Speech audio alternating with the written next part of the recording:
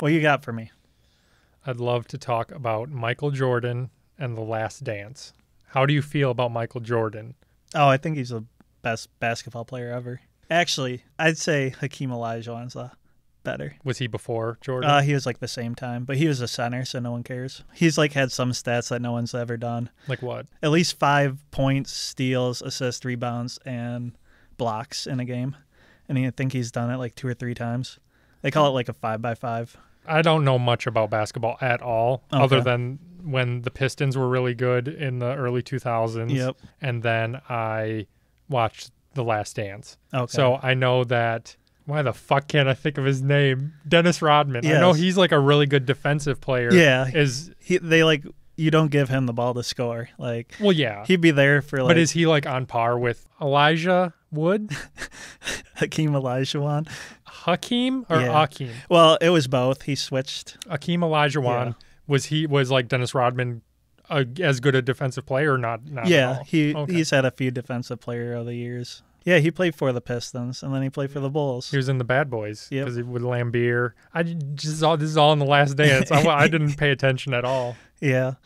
No, like even like from like 2004, like when the Pist- Pistons won, like to Mhm. now, like the game has changed like significantly, Immense, Yeah, and it's like the same from like Michael Jordan's era to like 2004.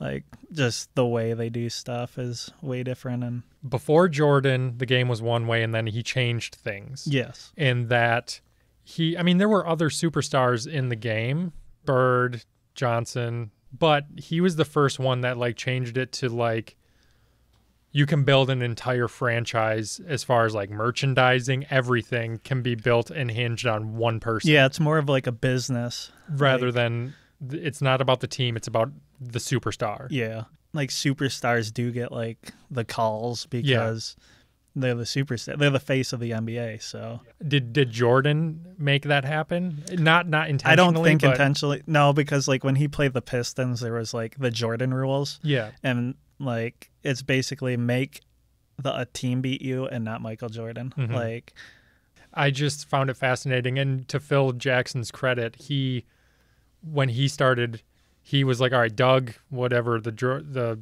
Doug Liddell, Chuck Liddell's older brother, he was like, Jordan is everything. Get the ball to Jordan. He'll he'll win us the game."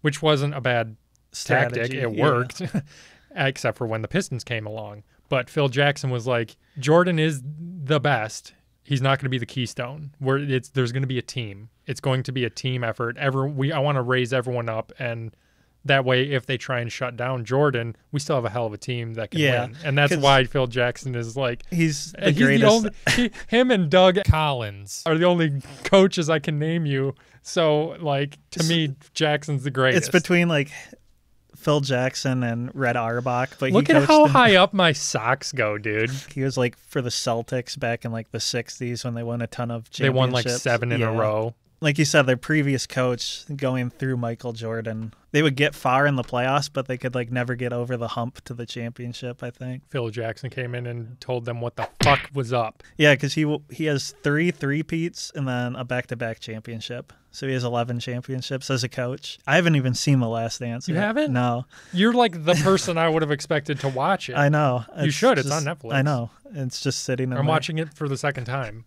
Like back in the day, dudes watched sports. To the they still do, but like the guys that don't, they're just like, "What are you? What are you? You afraid of it? You sissy?" No, I just don't care.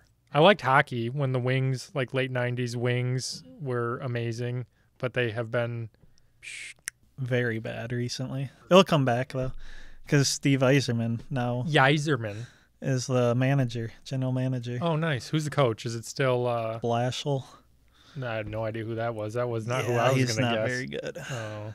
So is it the coach's fault or is it the player's fault? It, It's Donald Trump's fault. We have an excellent team, a fantastic team. I own the Ivanka Trumps. They're all white. I mean, they're all right. they've never won a game. I kind of have like a flamboyant Donald Trump. Rosie O'Donnell is fat.